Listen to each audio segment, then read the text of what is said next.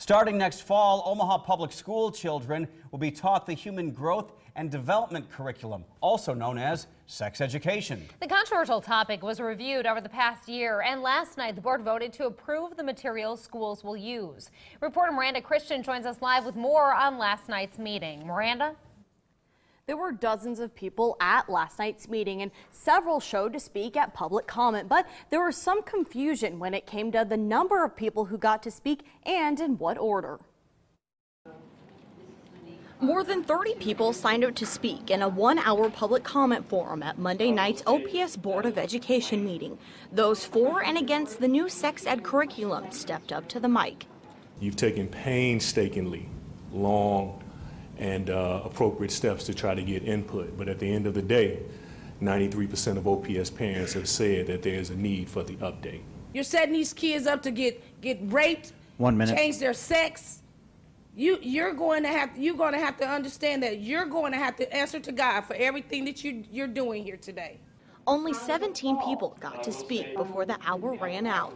The board voted to not extend the public comment session, upsetting those who felt their opinion was worth hearing. I don't have, I didn't call you to come forward.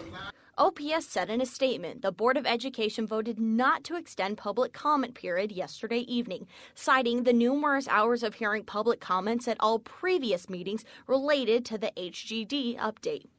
There was a lot of concern that the order of the speakers was put in favor of those opposed, and someone had moved the members of the Nebraskans for Founders values to the front. I think some of our teammates were kind of confused when they came in and filled their forms out because there wasn't anybody at the desk.